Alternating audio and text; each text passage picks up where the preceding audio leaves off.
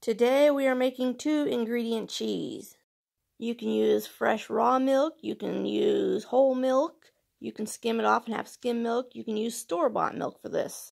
You're going to want to heat it up pretty warm. You can see the steam off of this. Make sure you stir it while you're heating it so it doesn't burn on the bottom. And then you're going to pour in a little bit of white vinegar, stir that around, and you're just going to keep doing that until it separates all the way. You'll see some of the cheese starting to form and stick to whatever you use to stir it with. But like I said, keep adding more vinegar until it separates all the way. Once your cheese fully separates from the whey, it'll be time to strain it out.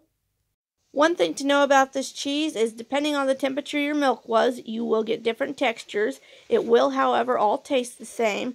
You can get a fine crumb cheese, a medium or a large crumb cheese, or even a very sticky cheese like mozzarella. All you will need to do once you get it strained is mix in your salt.